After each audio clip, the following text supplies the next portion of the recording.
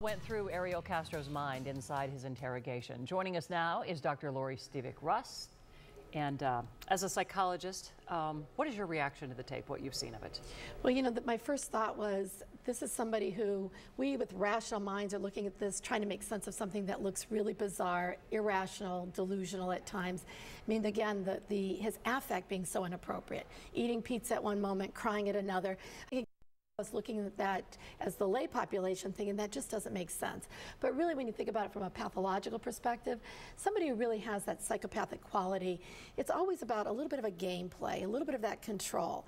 So if you watch the tape closely, there's a little bit of that, like, I'm going to give you a little bit of information, then mm -hmm. a kind of a mm-hmm. taunting back. And, uh, and you saw that playing itself out, I think, in that interview with the FBI agents. Was it a game when he called Amanda Berry's mother and said he had her daughter and that she was okay? yeah, you know, it's hard to know because, of course, we, you know, not having, ever having actually evaluated him right. or knowing the details of that. But based on what you, you, saw there. Yeah, I think, again, in the context of what we're seeing, we certainly know that people who can be very sociopathic, who have very poor um, ability to relate to anybody mm -hmm. else, is really devoid of any kind of empathic caring.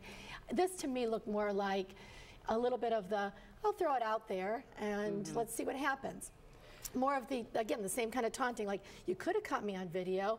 I did call and say she was okay, but then I hung up. It wasn't in an empathic, reassuring, like, don't worry, I'm taking care of her, even though that would have been unhealthy. Right. He didn't hear that piece of it. He, he did talk about being afraid of getting caught, so he clearly knew what he was doing was wrong. Absolutely, absolutely. And vacillated in this belief again that really somebody who is a serial abuser like this, rapist, kidnapper, it really always boils down to control and power. And so it really, the, the combi combination of that with that delusional, we were all living very harmoniously. I mean, one interview piece, he talked about that, as if somehow they were all one big happy family. This was my wife, he referred to her.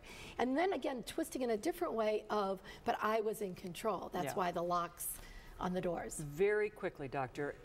In, in earlier uh, tapes we heard, he said he was abused as a child and that um, he had a sexual addiction, and he blamed all of this on that.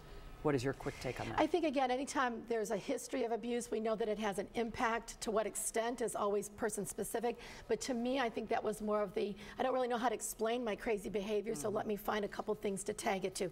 That's not to say that people are, who are abused, it doesn't influence behavior. But in this sense and in his context, it seemed a little bit more part of that sociopathic, mm -hmm. manipulative game. All right. Dr. Stevic-Rust, thanks, thanks for giving up a little bit of your Friday night to be with us. You're welcome. Thanks for having me. All right. Still to come. It is a football frenzy for all kinds of fans. We're going to run through some